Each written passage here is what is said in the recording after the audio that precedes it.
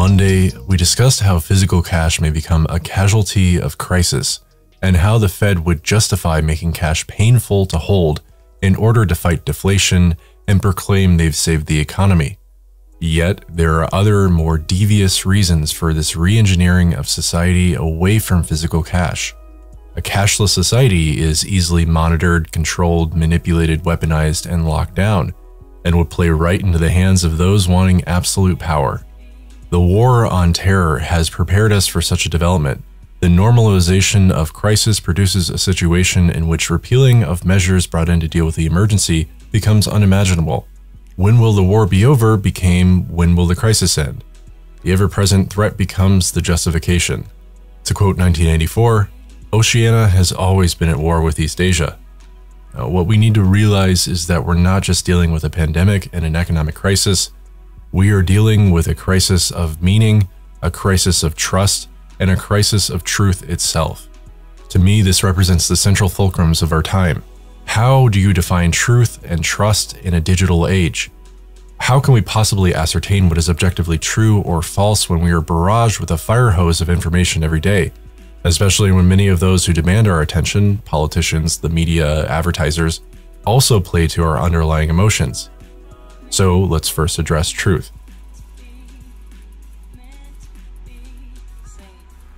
In part, we can see the current state of truth reflected in the post truth condition of current discourse. Post truth was defined as the word of the year in 2016 by the Oxford English Dictionary, defining it as relating to or denoting circumstances in which objective facts are less influential in shaping public opinion than appeals to emotion and personal belief. And yet, what I find ironic is that this is a post truth definition of post truth itself. It's how those dominant in the relevant knowledge and power game want their opponents to be seen, labeling their motivations as purely emotional, allowing them to gain competitive advantage in some more or well less defined field of play. After all, it was Plato who realized that the only way to curb democracy's chaotic tendencies was to ensure that discussions about the rules of the game and one's position in the game are kept separate. We can debate one or the other, but not both at once and that is the truth condition. Conversely, the post truth condition challenges that assumption as players jockey for position in the current game, while at the same time trying to change the rules so as to maximize their overall advantage. And it's no wonder that people are frustrated. They know the game has been rigged while being told it's not. You don't have to look at Brexit or Trump to see that the post truth condition is here to stay. The post truth disrespect for established authority is ultimately offset by its conceptual openness to previously ignored people and their ideas. They are encouraged to come to the forefront and prove themselves on this expanded field of play. It's the democratization of truth itself.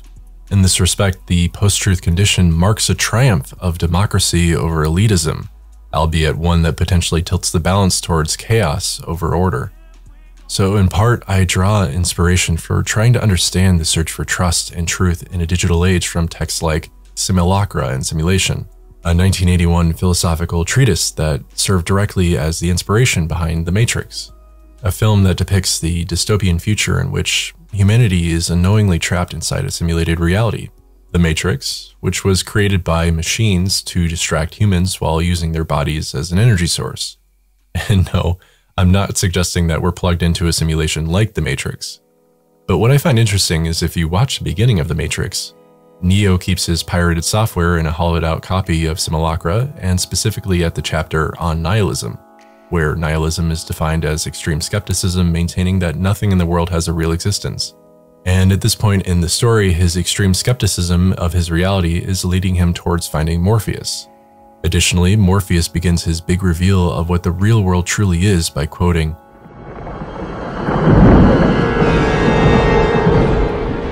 Welcome to the desert of the real.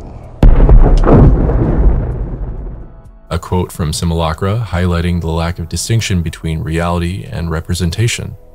In that, we can draw parallels where our own reality is defined by our perspective and the representations we use to understand the world around us. As humans, we shape our entire worldview through our innovations. Through the lens of our technology, we see reality with a new perspective. The humans that developed fire and tools and agriculture and so on saw the world very differently than those who came before. This innovation perspective shift has led us to where we are today. While there are many ways in which life has become incredibly complex, the proliferation of digital communication technologies and the glut of information that flows through them has created a situation of constant overstimulation with insufficient time to pause and reflect on the data in order to form coherent perspectives. You know, we read a news item, an opinion piece, or analysis, and seconds later, innumerable other contradictory yet seemingly credible views vie for our attention. This, in turn, creates a situation we could call heuristic failure. Heuristics are like rules of thumb. They're strategies which we use to solve problems, to understand, and to navigate our lives. Heuristics form the basis of our consciousness. So, when the world ceases to be predictable and consistent in a way that allows us to develop stable heuristics, well, we become overwhelmed, experiencing ourselves as adrift, without meaning, and even unable to form a coherent collection of long term memories that tells us a story of who we are and where we're going. and simply, we're not very good at surviving this state of existential exhaustion. Humans under such duress tend to awaken a mental flight to safety, a desperate search for meaning. If a solution can be presented as providing existential stability and meaningfulness, it becomes highly desirable. We are pushed to seek comfort and convenience at the cost of control, and we see that today. In much the same way that Americans have opted into government surveillance through the conveniences of GPS devices and cell phones, Digital cash, the means of paying with one's debit card or credit card or cell phone, is becoming the de facto means of commerce and hence the means of enforcement. Much like the war on drugs and the war on terror, this so called war on cash is being sold to the public as a means of fighting terrorists and drug dealers and tax evaders and now COVID 19 and consumer fear. Despite all the advantages that go along with living in a digital age, namely convenience, it's hard to imagine how a cashless world navigated by way of a centralized digital wallet doesn't signal the beginning of the end for what little privacy we have left or the freedoms we value. That's because the real reason for this war on cash, you know, starting with the big bills and then working their way down, is that ultimately it's an ugly power grab. People will have less privacy as electric commerce makes it easier for Big Brother to see what we're doing thereby making it simpler to ban activities it doesn't like. Just look to China, where a social credit score is backed by a system where physical cash is banned. And this lets the government decide who can buy plane tickets or which children get into national universities, all under the justification that it enables better social behavior.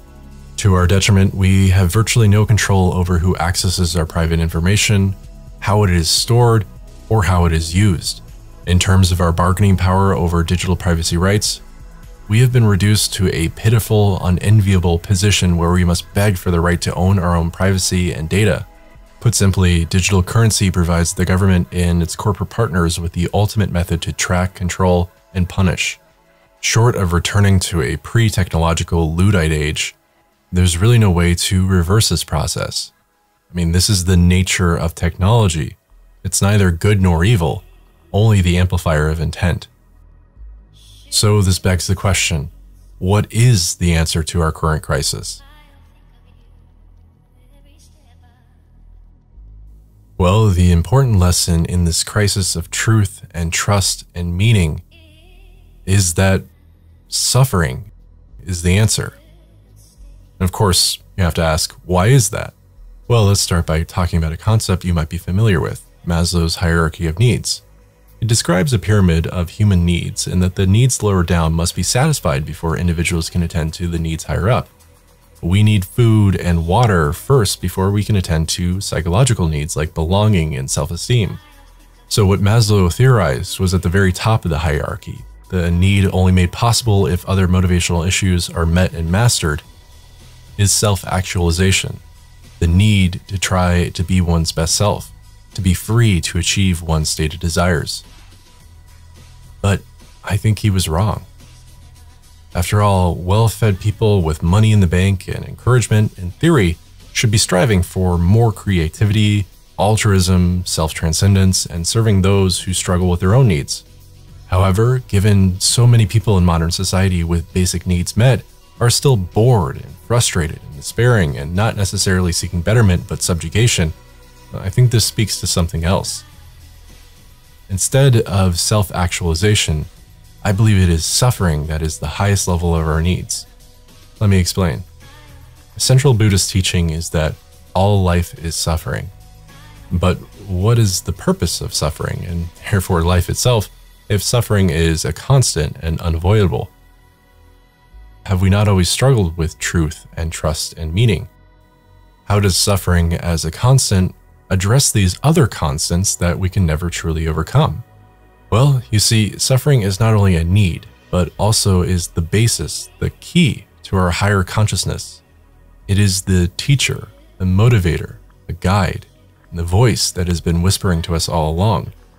For every great triumph, we've also had a great tragedy. For every golden age, we've also had a dark age. As the universe pushes against us, we push back. We can also describe suffering by one of the laws of the universe itself entropy.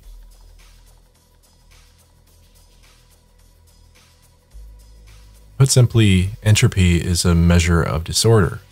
And here's the crucial thing about entropy by the laws of this universe, entropy always increases. Things break down, things change. Nothing is truly permanent. Life is therefore suffering because it is impermanent and ever changing. This is synonymous with saying that suffering is not only our nature, it is nature itself. And it is teaching us through the ever present need to adapt and change and grow to fight that suffering. We can also think of suffering and entropy as described by Murphy's Law, which states that anything that can go wrong will go wrong. It references the annoying tendency of life to cause trouble and make things difficult.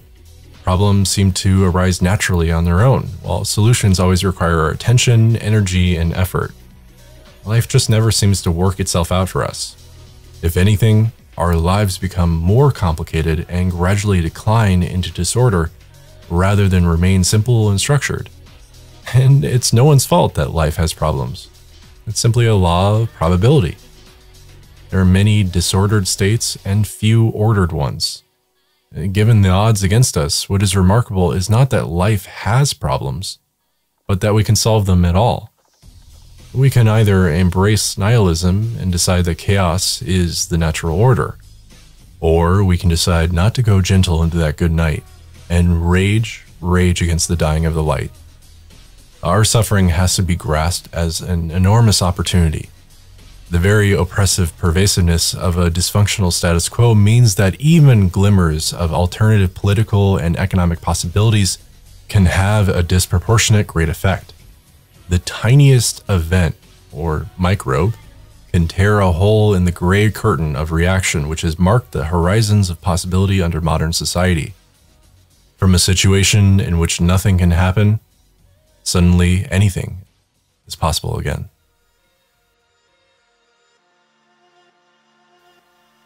But ultimately, it's important for us to reflect and understand so that the future is less opaque and that life is less scary.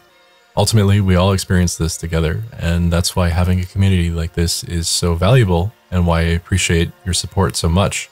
To keep up the conversation and to talk to us directly, we've opened up our Discord for our trading channel so that we can talk about the future of technology and markets together and to have a better understanding as to how to find opportunity even in a crisis.